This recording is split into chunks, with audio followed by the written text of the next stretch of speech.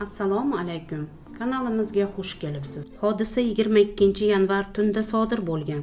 Qutqarilganlarning ichida 2 nafar bola ham borligi aytilmoqda. Qozog'istonning petropavlidan sariog'och tumaniga kelayotgan avtobusning dizel yonilg'isi muzlab qolgan.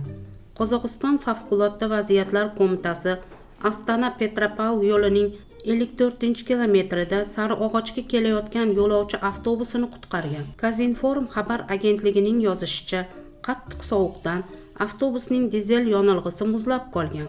Avtobusda o'zbekistonning 41 fuqarosi hamda ikki qozog'istonlik haydovchilar bo'lgan.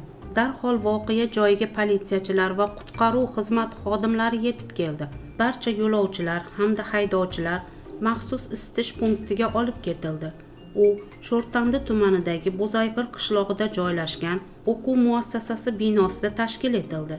Jabrlanuvchilar issiq ovqat va yotoq joyi bilan ta'minlandi deyilgan oqmo'la viloyati ichki ishlar departamenti matbuot xizmati ma'lumotnomasida kuchli sovuq tushishi munosabati bilan akmalinsk viloyatining barcha yo'nalishdagi yo'llari yopib qo'yilgan.